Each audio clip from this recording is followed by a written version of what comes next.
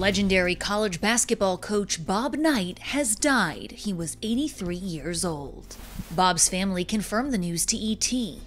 In a statement, they shared the sports coach died Wednesday at his home in Bloomington, Indiana, surrounded by his family.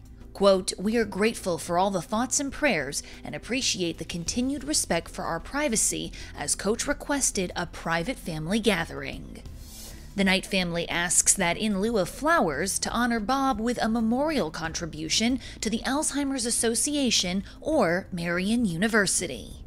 At this time, an official cause of death has not been revealed. Winning the Big Ten didn't make any difference, and winning the national championship didn't make any difference. If you will continue to work and follow what we want done, you have the ability to go undefeated.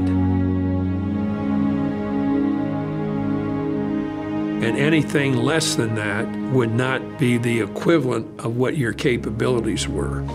Bob, also known as the General, is remembered as one of the most successful coaches in NCAA history leading Division 1 men's college basketball teams including Army, Indiana, and Texas Tech from 1963 to 2008. I don't remember just going in and really raising hell with them. I think I did it very quietly. Bob was inducted into the Naismith Memorial Basketball Hall of Fame in 1991 and the College Basketball Hall of Fame in 2006. Bob even lent his coaching knowledge to Nick Nolte while filming Blue Chips, a sports film about a college basketball coach. Oh, Bob Knight is great. Bob Knight, he, he opened up the whole process of the game. He let us come in and, and, and go through all his practices and, uh, and uh, go back in the locker room and see how he works and everything else like that.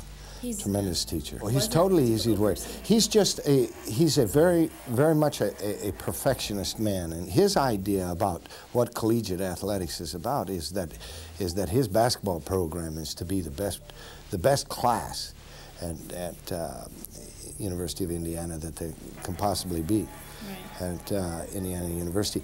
So he wants his kids to walk away from that class having learned emotionally who they are, how to get up after a loss, a defeat, how to operate in life. That's the most important, and then winning is part of it too. Mm -hmm. But uh, and he's very protective of his ball players.